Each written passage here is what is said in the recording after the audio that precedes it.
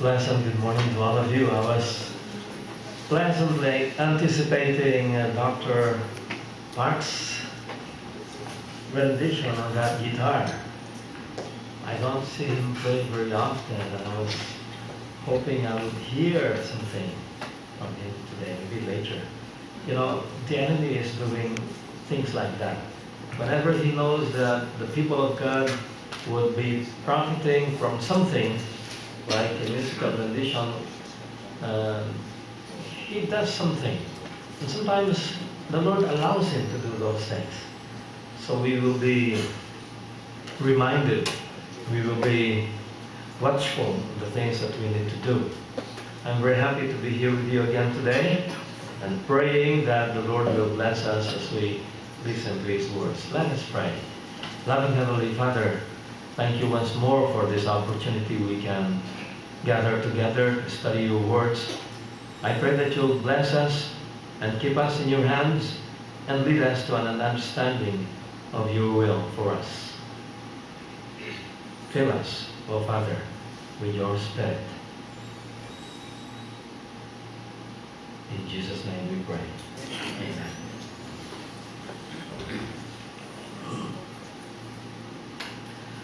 Our title today is One versus All. It seems not to fit our subject because it appears our subject is about one against the world or something against everything. Well, actually, our subject is really that. One man's discovery and all the effort he took to obtain what he discovered. He went all out to obtain that very significant something.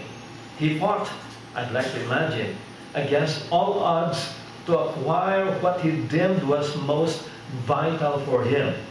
It appears also that the storyteller tells us the same thing. And if we are wise, we shall have the same perspective. The flip side of it is that having a perspective other than what the storyteller has will uncover the kind of believers we are. That can be pretty revealing and pretty dangerous as well. Having a perspective differing from that of the storyteller makes us, I'd say, pretentious, phony, really, not different from the Pharisees and the like during the days of Jesus. For who amongst us will not treasure the kingdom of heaven. Who amongst us will not say we are willing to give all up if it means entering into that heavenly realm? And who amongst us will gladly take a cut in pay, say one year's salary, if that is what it takes to enter into the glories of heaven? Or are we willing to go through such things as I am suggesting? Before you blurt out, yes, consider the overall cost. And having said that, let us consider the parable of the hidden treasure. It's found in Matthew chapter 13, verse 44. Just one line, just one verse, but it says pretty much powerful things for us. Jesus is the one speaking. He said, again, the kingdom of heaven is like treasure hidden in a field, which a man found and hid. And for joy over it, he goes and sells all that he has and buys that field. Many of us would be willing to go through the experience of the man in this parable. Not too long ago, somebody was so astounded having discovered a veritable treasure trove right in his friend's land. Terry Herbert from England bumped into the cache of gold and silver pieces in what was once Mercia one of the five main Anglo-Saxon kingdoms.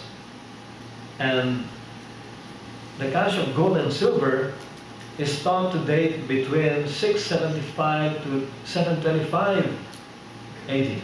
Experts predicted that Herbert and his friend should expect to receive each a seven-figure sum for the discovery made last July 5. Here and there, everywhere, you find people stumbling into hidden treasures. Here and there, you find people very much amazed and very happy for having found such treasures. Here is a more startling discovery made by a farmer. He and his wife went to a country fair, and as they were there looking around, this farmer became so fascinated by the airplanes and asked a pilot, how much would a wild ride cost? The pilot said, $10 for three minutes. The farmer said, that's too much. The pilot thought for a second and said, I'll make you a deal. If you and your wife ride for three minutes without uttering a sound, the ride will be free. But if you make a sound, you'll have to pay $10. Seems like a fair deal. Okay, the farmer and his wife agreed and went for a real wild ride. After they landed, the pilot said to the farmer, I want to congratulate you for not making a sound. You are a very brave man. Maybe so, said the farmer. But I got to tell you, I almost screamed when I looked to my left and discovered that my wife fell out. you don't want that kind of discovery for yourself.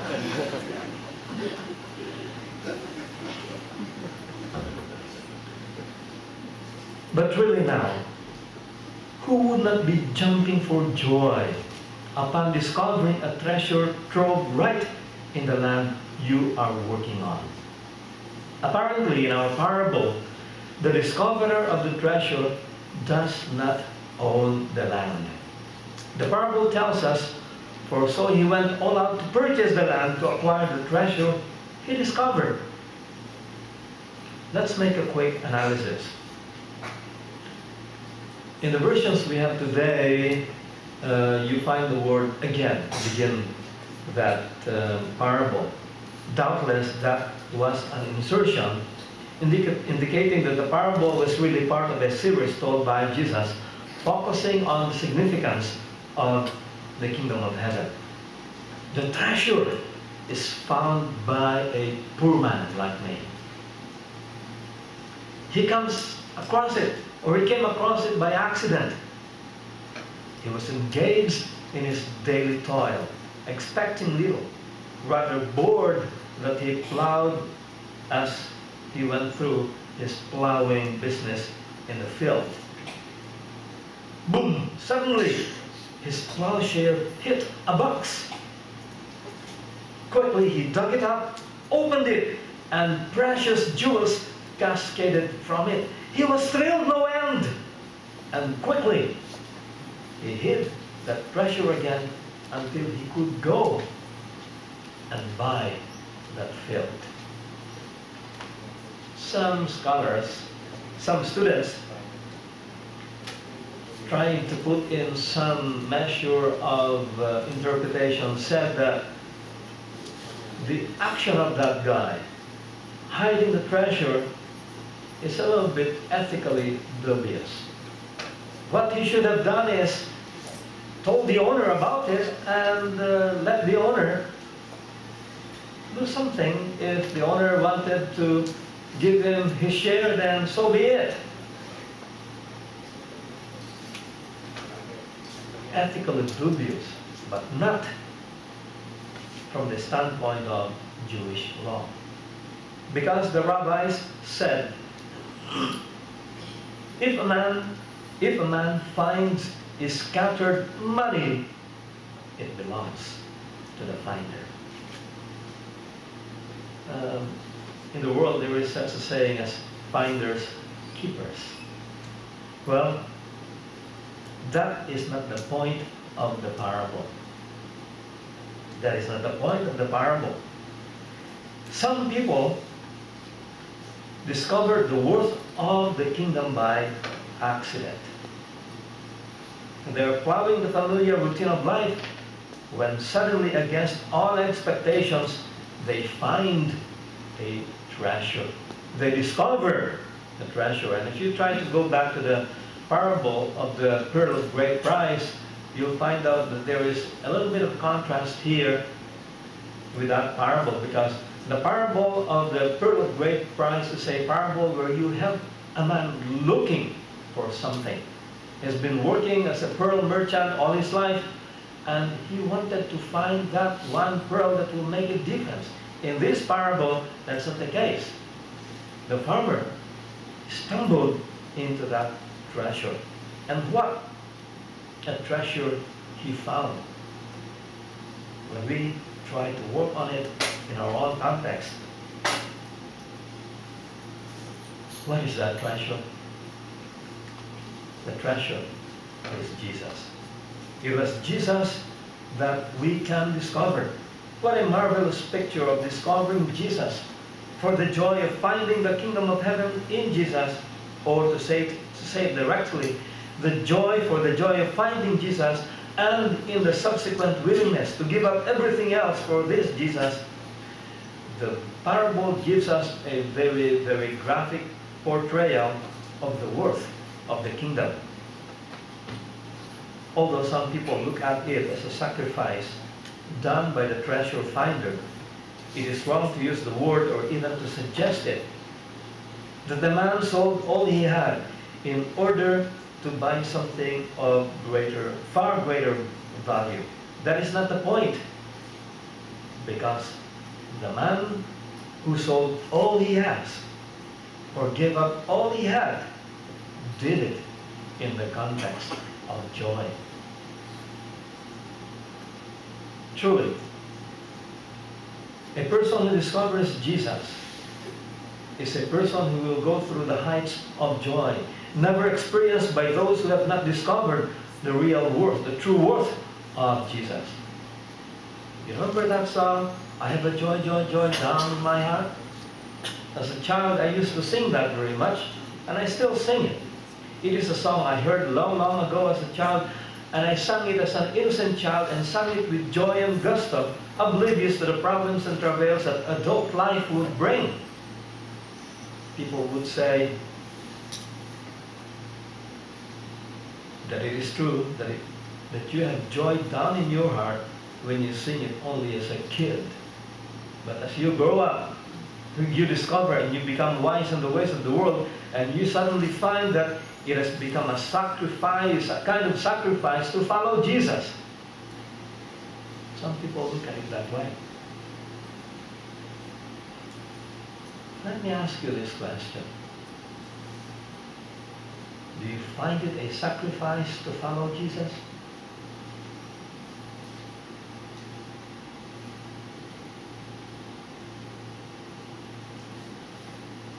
Or do you find following Jesus a joy? I think for those people who think that following Jesus is a way of sacrificial life is something that they have something in their minds that they have not probably discovered about Jesus. And I will really disagree with them because if you really came to know Jesus and discovered him as the one heaven sent to obtain your salvation and salvation at such a price, you will truly have joy. You can only bow your head or probably shout at the discovery that Jesus died for you. And knowing that his death enabled you, gained for you entry into that glorious kingdom of heaven, which you would not have otherwise reached. You cannot have any other feeling but that of joy. Joy comes from a heart full of gratitude and praise. Joy comes from a mind having understood that I am nothing and Jesus made me something by his death on the cross. Before Jesus, I was nobody. Before Jesus, I am a sinner destined for death. Before Jesus, I am a man damned. Jesus came. Saved me. Would I not be happy? Would I not have joy? Did you hear the story about the slave who was sold against his wishes? There was this slave. He was sent to the marketplace together with all the slaves, and he's got, he's got a different perspective about being a slave, being a slave. And as he was standing there,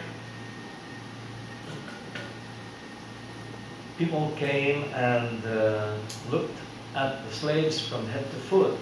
But because this slave is a lot more muscular, more powerful looking than the others, many people came to see him.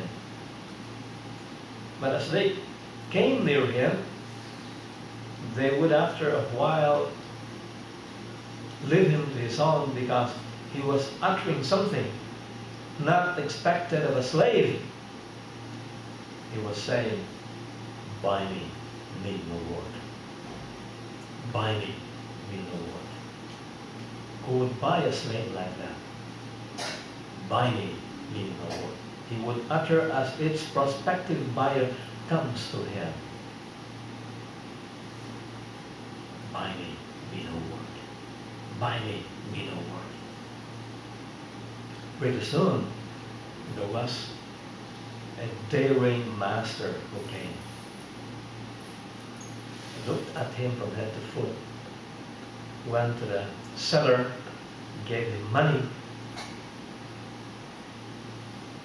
and told the slave, follow me, buy me, me no work. Buy me, me no work. Couldn't do anything, however, so he followed his new master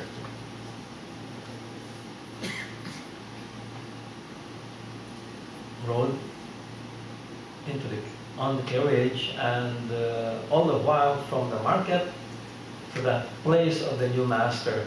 This servant was muttering buy me work buy me work until they got to the most lovely mansion that this slave had ever seen.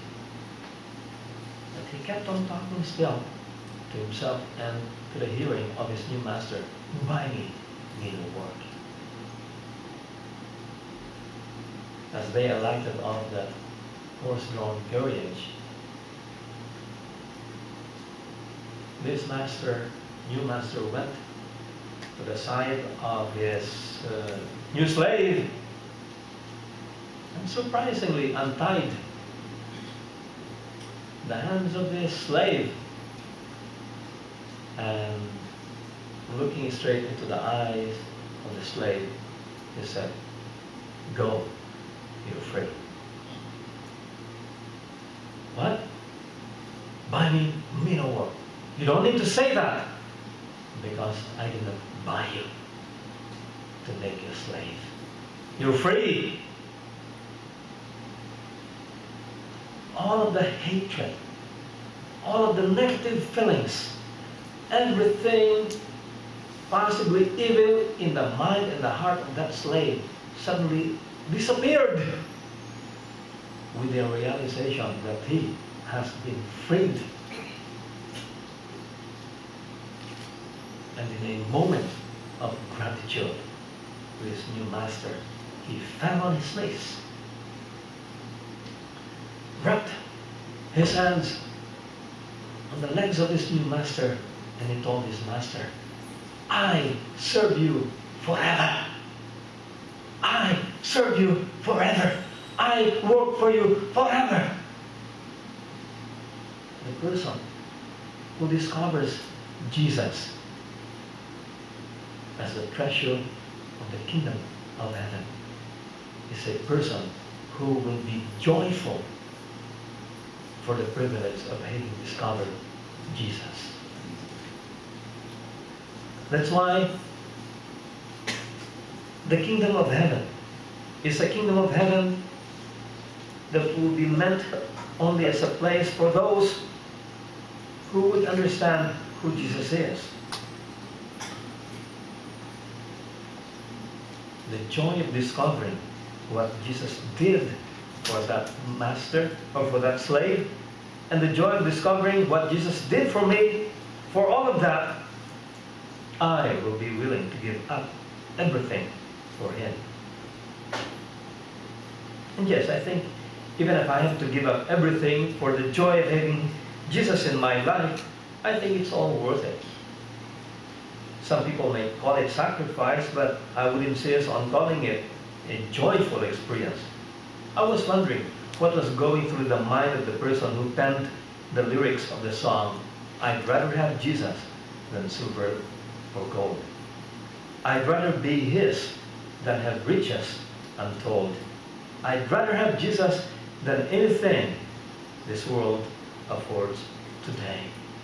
To have Jesus is to have life. To have Jesus is to obtain the greatest treasure this world could ever give. To have Jesus is to have the assurance of entry into the glorious kingdom of God. Ah, Jesus. He is the sweetest, His is the sweetest name I know. And it's just the same as His lovely name. And that's the reason why I love Him so. For Jesus is the sweetest name I know. Friends, brethren, I bring before you Jesus, the treasure par excellence. To have Him is the joy of life. To have Jesus is to have the assurance of entry into the glories of His kingdom.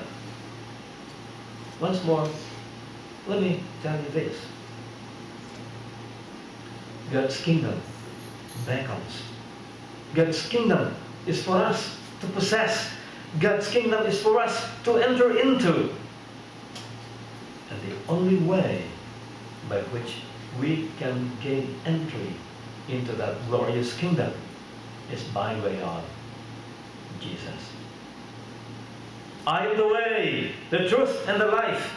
No man can come to the Father but by me. Would I be willing to go all out?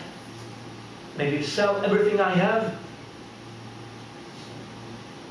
to purchase this treasure so wonderful, treasure that does not come very often, treasure that if I do not give it to, I am placing myself again on that path that leads to damnation. Hear, O people of God, behold him who died for you and for me. This, Jesus, is the treasure, the hidden treasure that has now been manifested, bared for all to see. I am pretty sure that one way or the other, some of you have encountered Jesus either by accident or by some circumstance. However you encountered Jesus, however you stumbled into Him, let me tell you this. It is only by connecting with Jesus that we find joy. It is only by being with Jesus that we obtain meaning to life. I've had, I've had the experience of meeting many, many miserable people. I have a friend who was so miserable that the first thing that he would say as he gets out of bed is, What a dreary day. And throughout the day, he does nothing but complain and complain and complain and complain. He goes to bed saying, Ah, truly, it has been a dreadful, dreary day. Day in and day out. He would be that kind of person. One time, he surprised me. Because for the first time in my life, when I saw him next, he was so happy. He was so joyful. And I asked him, what happened to you?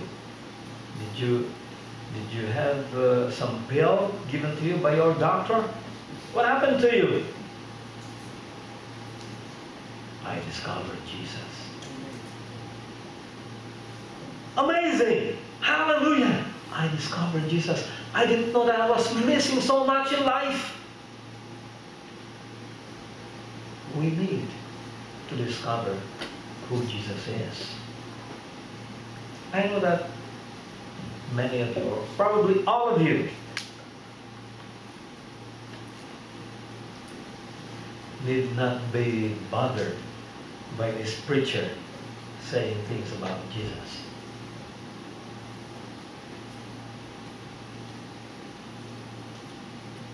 But I am also telling you that although I am a preacher, although I am a pastor, there are many, many times, frequent times, when I have to come to my Jesus and tell him,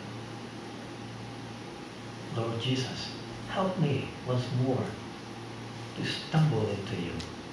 Help me once more to find you and the beauty of your words.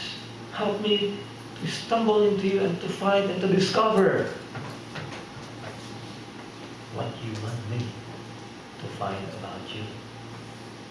Because as a treasure trove, the more we come to Jesus, I don't care whether you are a pastor, an elder, a student, a PhD degree holder, all of us, one time or another, we need to have that assurance from God that there are still things that we can find in Jesus. And like, like hidden treasure, the more you dig into the life and mind of Jesus, the more you will find treasures beyond your comprehension. I've been a minister now for how many years? I entered the ministry in 1976.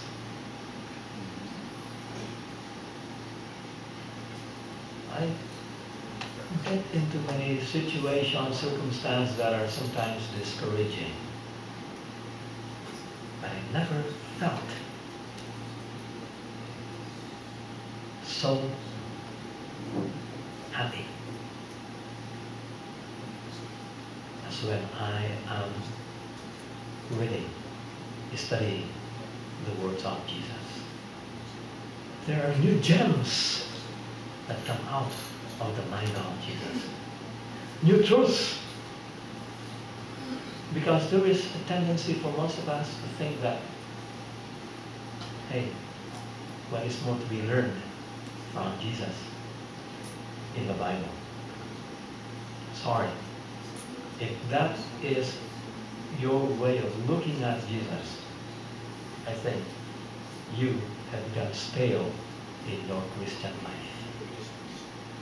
There is a need for you to stumble again into this treasure called Jesus. Because as you learn more of Him, as you become more familiar with Him, the Lord's going to give you more joy. And the Lord is going to make your life more meaningful. And the Lord will make you a better instrument, a better witness for Him. The kingdom of heaven beckons we cannot enter into it with simply what we know now. Because what we know now might not be enough to help us develop a character that will fit us for heaven, that will fit us into the kingdom. Jesus, the Lord said through her, through his servant, when the character of his children when the character of Jesus has been manifested in his children, then he will come to claim them as his own. I was wondering, is it because the character of Jesus has not been manifested yet in us that the Lord, some people are saying, that the Lord is forced to delay his coming? I don't know. I don't know. This one thing I do, like Paul, forgetting the things that are behind and pressing on towards the mark. Jesus, the joy of life. Jesus, the joy of living. Jesus, the treasure towards us going into the glories of the kingdom. I'm still a student of the Word. And today I'd like to pray for all students like me. There is so much to learn about Jesus. And I pray that we will all learn together until his character gets reflected in our lives. Heavenly Father, thank you for the privilege that you called us not just to be your children, but to be your students. As we look into your words, help us to discover gems, truths, treasures that will help us obtain a better understanding of you, who you are as a God, and of who Jesus is as our Savior. And lead us, Father. Help us not to be discouraged when we sometimes run into a wall and there seems to be nothing beyond that wall. Give us rather patience. Give us forbearance. Give us, O oh Lord, your Spirit, that your Spirit may lead us into understanding all truth. And give the joys of living to our hearts. Make us joyful in Jesus. And make us joyful until we see him face to face. Oh, bless all the students, Father. Grant wisdom and understanding to all of them. Grant them healthy bodies so that they can carry on with their studies in a way that will honor and glorify you. Bless also their families. Bless their studies. Lead them. Grant them the thoughts that you want them to have. And when all is said and done, and Jesus appears in the clouds of heaven, all of us who have looked forward to the coming of Jesus will find ourselves ready to enter into the glories of your kingdom. In Jesus' name I pray. Amen.